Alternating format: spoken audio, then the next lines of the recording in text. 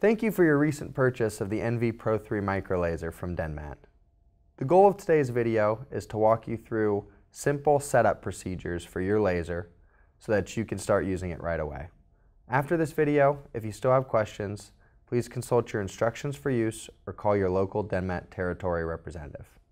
The first thing you're going to need to do before you start using your NV Pro 3 microlaser is ensure that you've installed the batteries into the wireless foot pedal. Once that's done, please remove the NV Pro 3 wand and the battery.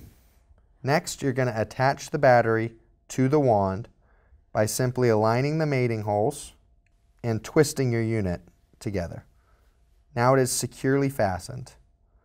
Next, before you ever start using the unit, please make sure that it's fully charged. By putting the unit in the charger cradle, you can see the amber light. This means that the unit is not fully charged. You always want to have your backup battery charging as well. It can charge in the charging cradle at the same time. Once the unit is fully charged, you can pull it out and you can start using the product. To turn on the NV Pro 3, press the laser stop button. Once pressed, it's going to ask for an enter key.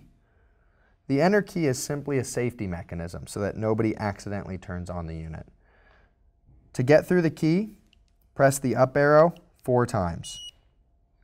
It has now unlocked the unit and you are ready to start using. You can set the wattage by yourself by moving up and down on these arrows or by using any of the presets.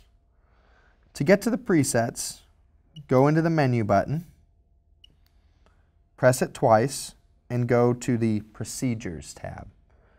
Then simply scroll through any of the 12 procedures that the NV Pro 3 microlaser has on it. Once you find the procedure you want to do, simply press the menu button one more time.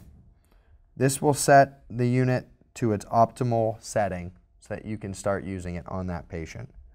Keep in mind that these are just guidelines. Every patient will not need the exact same wattage, but this is a great place to start. You may know that once you're in this, you can up the power as needed or lower the power. Some of the other features with the NV Pro 3 you can find here under the menu button. By pressing it three times, you will see the aiming beam. You can adjust the brightness of the aiming beam by pressing up and down on these arrows.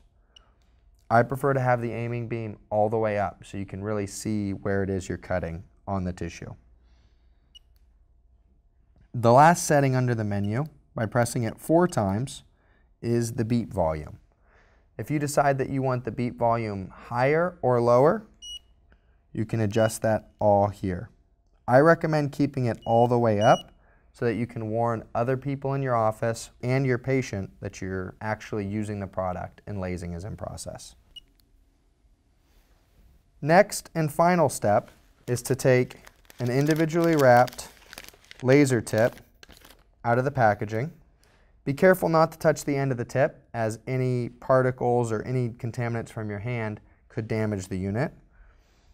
You're then going to slide the tip onto the laser unit.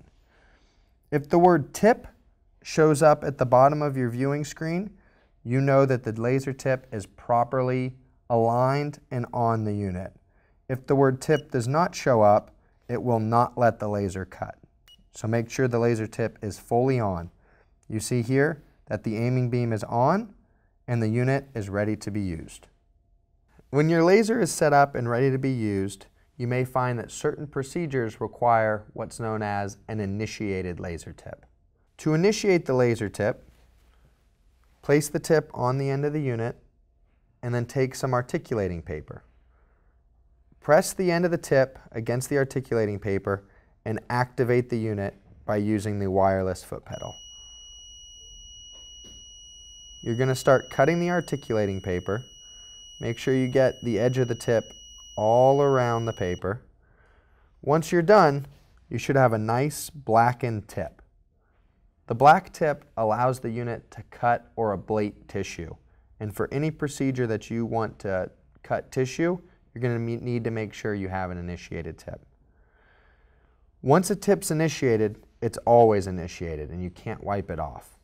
So if you need to do another procedure with that patient with an uninitiated tip, simply remove your disposable tip, throw it away in a sharps container, and grab a new one out of the packaging.